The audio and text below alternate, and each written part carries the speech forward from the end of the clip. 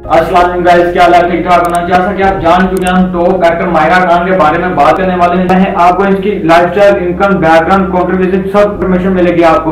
और मजीद ऐसी वीडियो देखने के लिए हमारे चैनल को सब्सक्राइब करें वीडियो को स्टार्ट करते हैं। मायरा खान इक्कीस दिसंबर उन्नीस को पैदा हुई। मायरा खान का ये स्टेज नेम है जो इनका जो असल नेम है वो, है मायरा हफीज खान। इनके वालिद उर्दू स्पीकिंग पठान है। इनके वालिद का नाम हफीज खान है। इनके वालिद दिल्ली में पैदा जब ब्रिटिश का दौर था। उसके बाद पाकिस्तान आ गए। पार्टीशन इंडिया माहिरा खान का एक छोटा भाई भी हसन खान जो प्रोफेशनल से जर्नलिस्ट हैं। मायरा खान ने Khan Foundation public high school से ओ लेवल तक अपनी तालीम हासिल की। उसके बाद ये अला तालीम हासिल करने के लिए कैलिफ़ोर्निया चले गए जहाँ इन्होंने सेंटा मोनिका कॉलेज से क्लासेज ली। उसके बाद इन्होंने अपनी बैचलर डिग्री हासिल करने के लिए यूनिवर्सिटी ऑफ़ साउथर्न कैलिफ़ोर्निया में दाखिला लिया ताही इन्होंने अपनी अंडर ग्रेजुएट डिग्री मुकम्मल नहीं की।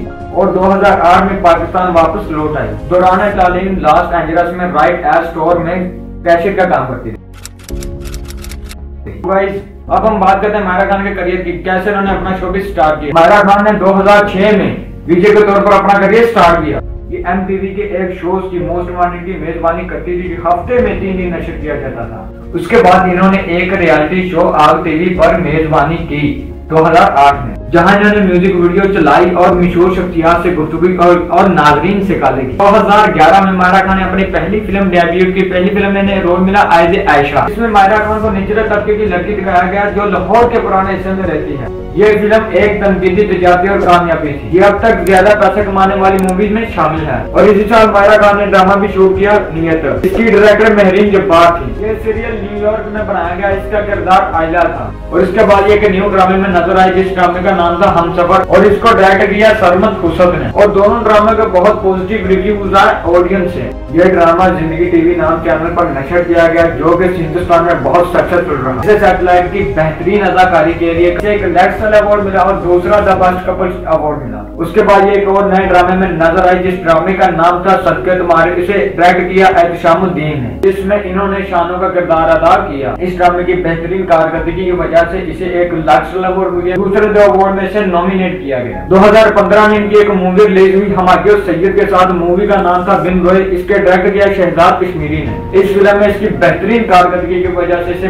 नेशनल अवार्ड मिला। इसे हम टीवी की तरफ़ से मोस्ट स्टाइलिश एक्टर का अवार्ड मिला। इस फ़िल्म को 2016 में टीवी सीरीज़ के तौर पर भी रिलीज़ किया गया। 2017 में मायरा खान की मूवी शाहरुख खान के साथ रिलीज़ हुई रईस और इसको डायरेक्ट करने वाले राहुल ढोलकिया थे। फ़िल्म रईस रिलीज़ होने से पहले। इंडियन कंपनी मोशन पिक्चर्स के प्रोड्यूसर ऑफ़ इंडिया ने 2016 में यूरी हमले के बाद तमाम पाकिस्तानी एक्टर और एक्ट्रेस पर पाबंदी आयद कर दी गई। सूरत हाल यहाँ तक कहाँ पहुँची थी कि लोग यहाँ तक अफवाहें फैला रहे थे कि मूवी रईस में मायरा खान के शो डिलीट कर दिए जाए और इनकी जगह पर दूसरी अदाकार का रोल प्ले किया जाएगा।